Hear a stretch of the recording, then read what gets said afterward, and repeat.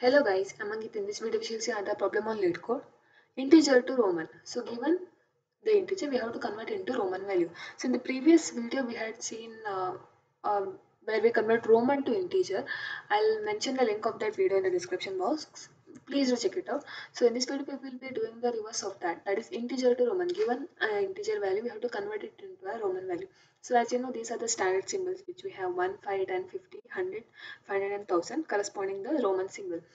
And if you want to derive any other uh, integer value or Roman value from this only we will be deriving it. So if we need to have 4 then it will be 1 and V is used. So all the symbols will be using right. So if it is 2 then two ones will be used all such.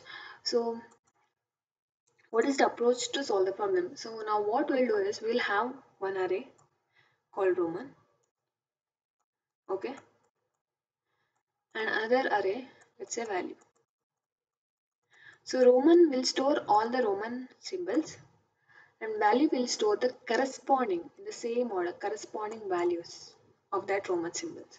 So if the Roman symbol let's say is M, the value first value will be 1000. Similarly we store it for D, C, L, X, V, I. So is it enough if we store all the symbols, Roman and values, corresponding values in the array? No. Why? Because if you see, we have, if you want to from 1, we can generate 2, 3 because this is represented by 2 eyes, this is represented by 3 eyes.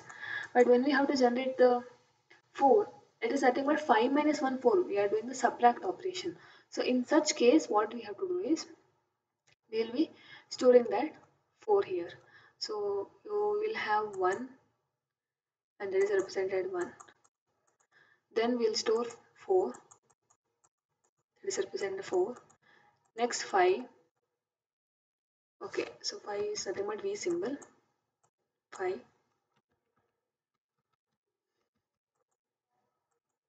Okay. So after this similarly for 10 also. From 5, 6, 7, 8 you can do it like 6 7 8 but when it comes to 9 it's 10 minus 1 9 so it will be represented like this so even that has to be stored because we cannot generate that from this okay? So we'll store 9 so 9 is something but this. Then we'll store 10 so when this is stored again similarly we do for 10 is over 5 done.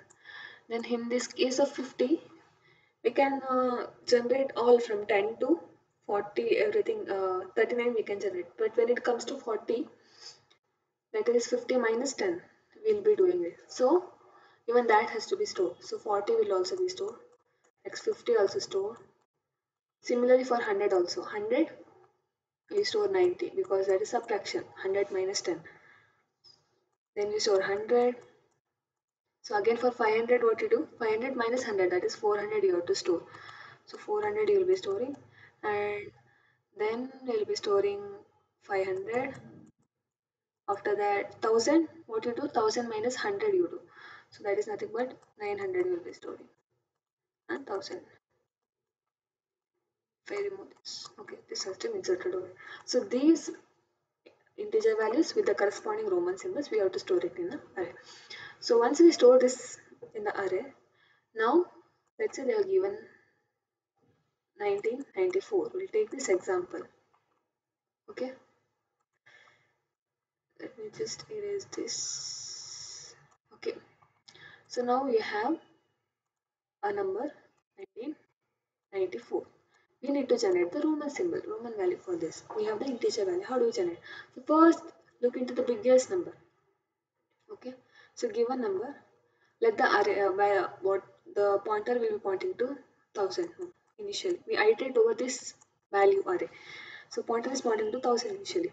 Check whether the given number, this is a number, whether the given number is greater than or equal to value of i. Is it? So 1994, is it greater than 1000? Yes, it is. So 1000 will come in this only. So what you have to do, let's have a, uh, for storing the result, I will have a string called result and that is empty. So result will be plus equals to we have value of pi. Now we want to get the Roman value. How do you get? That is nothing but Roman of pi. So for the value of 1000, you get the corresponding Roman symbol that is Roman of pi. So you have value of pi. Well, first you check whether the number is greater than or equal to value of i. Is 1994 greater than or equal to value of i? Yes, it is. So what you have to do? So we have to get the corresponding Roman symbol of that. That is nothing but Roman of i. So result will be added with Roman of i. So result will contain if uh, result will contain m now. It is represented by m. So once you, you are done with this, now you have to subtract this value from the number, right? So number equals to number minus value of i. So if you subtract 1000 from this, it will be 994. 994. So with the given number 994, again we have to check. So this should be while loop actually. Whether the given number is greater than or equal to value. Is it? No. If in case if instead of uh, 1994, let it be 2994, then value is greater than or equal to value of 5? Yes, it is. So if you subtract 1000 from this, it will be 1994 now. Now again you check whether the value greater than equal to value of i, number greater than equal to value of i. Yes, it is. So result plus equal to Roman of i. One more m will be added. Now again subtract 1000 from this. That will give you 994. Okay, why did you get to know why are we taking while loop? Because there may be multiple occurrence of 1000. I mean, so many thousands equal to given number. So that's it, because that is the greatest number now we have. So once you get to know this, now 984 is not greater equal to 1000. So now move the pointer ahead. So now the pointer will be pointing to this 900. Okay, sorry, 900 we have it over here. So now pointer will be pointing to 900. Now again check whether the given number 994 is greater than equal to 900. Yes, it is. So that means result plus equal to Roman of i. That is 900. How is it represented? So that is 1000 minus 100, 900. So it is nothing but 1000 is represented by M, 100 is uh, represented by C, so it will be CM. So CM will be added to the resultant because we have stored it right because it will be CM over here. Okay. So next you subtract 900 from the given number. So 900 if you subtract, so that will give you 94 now. Okay. So again check whether 94 is greater than 900. No. So now you move the pointer to 500 again check whether 94 is greater than 500 no move the pointer to 400 it's not greater it's not greater than 100 yeah 94 is not greater than 100 next move the pointer to 90 now it is greater than 90 right? 94 is greater than 90 now again result plus equal to roman of 90 how do you represent 90 that is 100 minus 10 so xc xc that will be added to the resultant. So again subtract 90 from the answer that will give you 4 now 4 is greater than 94 no it is not. So move pointer move pointer is not not greater than because we have 4 right? So it will be till yeah this position it is equal to 4 now. So in this case result plus equal to roman of 5 how do you represent 4 5 minus 1 so append that also. Now 4 minus 4 will be 0 is number greater than equal to value of 5 no. You move to the last value and the loop will be done. So this is the Roman symbol how we have got.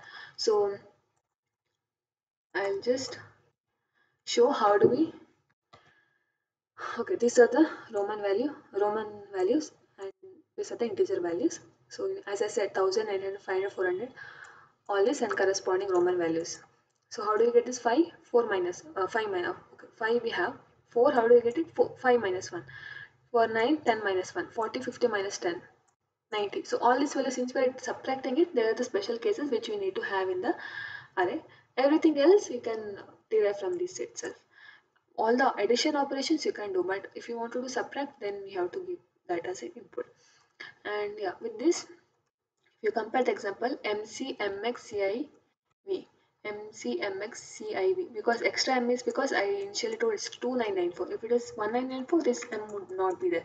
So then the answer is correct. This is how we generate the uh, roman symbol for the given integer value. So each you iter to the each values in the array then you check whether it is possible to get it in the roman symbol or not.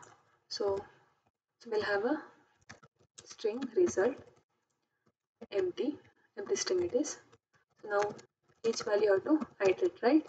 So we iterate over the all the values. First we have to check whether the given number is greater than equal to values of i if so then you have to take the corresponding roman value. So plus equals to roman of i. Then number should be decremented right? Num minus equals to values of i. This is nothing but a equal to a minus b. Num equal to num minus values of i what we do? A minus equals to b in that format shortcut format we have written. So at last we need to return the result yes.